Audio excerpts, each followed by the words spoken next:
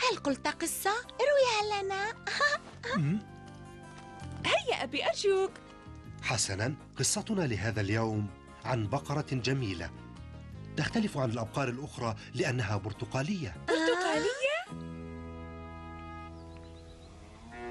كانت البقرة البرتقالية تعيش في مزرعة السيد نيكر بيكر. وذات يوم قفزت عن السياج وذهبت للنزهة في الحقول. وفي الطريق التقى بها ثعلب فحياها بأدب صباح الخير كيف حالك اليوم؟ آه يبدو أنني مريضة ولست على ما يرام مم. لذا فقد سحبها الثعلب وأخذها إلى منزله ووضعها في الفراش محمومة؟ لا أعرف هل لديك محرار؟ لم يكن لديه محرار فحاول بدلا من ذلك أن يقيس حرارتها بزجاجة الحليب لكنه فشل. لمس أنفها ليقيس حرارتها. كان أنفها ملتهبا. واو. دعيني أرى لسانك. شيء غريب. هذا المرض جديد علي. سأفقد عقلي إنه خطير. تناولت الكثير من العشب. صار ما لدي من أدوية. فتح الثعلب صندوق الأدوية ليختار دواء مناسبا.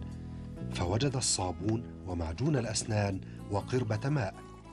ملأ القربة بالماء الساخن ليجعل أقدام البقرة دافئة لكنه فشل. هل أنت جائع؟ كلا. أنا جائعة. لم تتصرف البقرة كالمريض المثالي فما أن غادر الثعلب حتى أكلت جزءا من الفراش. وهذا أزعج الثعلب. عودي للفراش حالا وإلا لن تأكلي. بكت البقرة فرق لها قلب الثعلب وأعد لها وجبة طعام رائعة مع شراب الزنجبيل.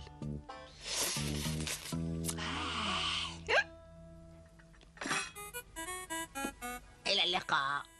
ثم ودعها وخرج. عند مساء.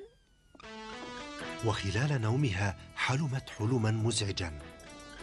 رأت نفسها تجلس على سكة الحديد. وكان القطار قادما مباشرة إليها.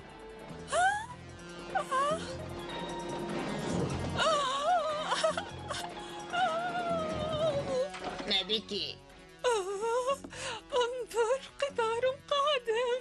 اختبأ الاثنان تحت السرير. لقد عرف الثعلب أنها لن تستطيع النوم في الظلام. لذا فقد وضع شمعة بجوار السرير.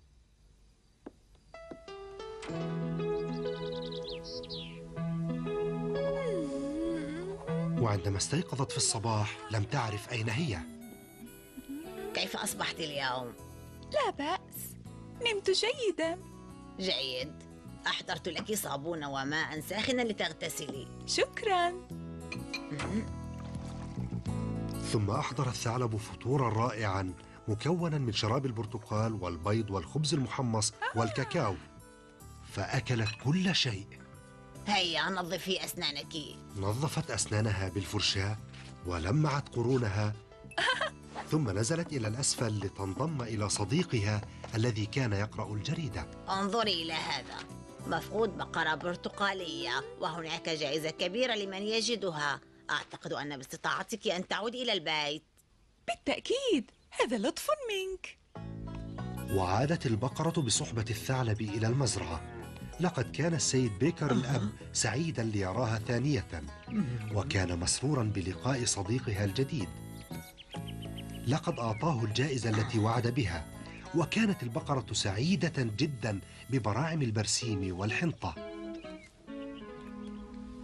آه. سأمتلك مزرعة عندما أكبر.